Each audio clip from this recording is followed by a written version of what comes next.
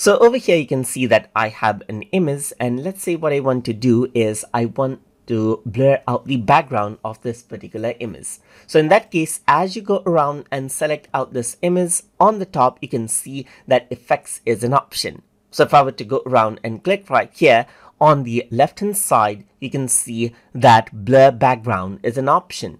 So if I were to go around and click right here, then it'll analyze out the background over here on this particular image and it'll blur it out as you can see right here, just like this. So this is what you have right here. And that is how you can go around and blur out the background of the images that you have right here.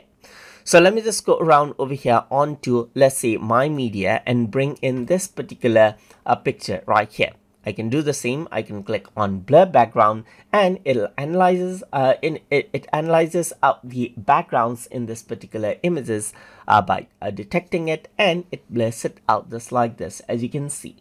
So that is how you can use the blur background effect uh, inside of Microsoft Designer.